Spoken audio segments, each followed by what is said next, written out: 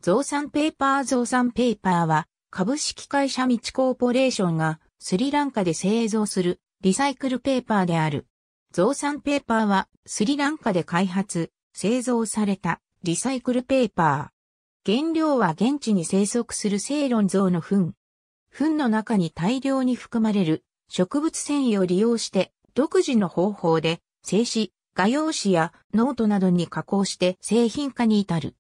当初は現地のゴミ資源有効利用を目的とした事業の中での小規模な生産であったが、現在は1日に A4 サイズの紙を7万2000枚製造することが可能と主張している。当初、ゾウさんペーパーの輸出はワシントン条約の関係でできなかった。現在は特例として認められているが、その背景には日本国政府とスリランカ政府の働きかけがあったからに他ならない。その過程でスリランカの総理大臣がワシントンに行った折、国のギフトとして増産ペーパーのレターセットをブッシュ大統領とパウエル国務長官にプレゼント。この件がきっかけとなり、他国への販売ルート拡大につながった。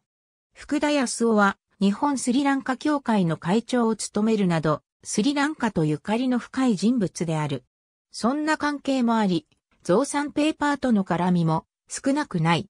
2007年に多摩動物公園のイベントでは、福田や三笠宮夫妻が出席されたが、そこで増産ペーパーの紙すきが実演された。ここで作られた紙は、後日の G8 で、首相は、もちろん、ブッシュ大統領にも使用された。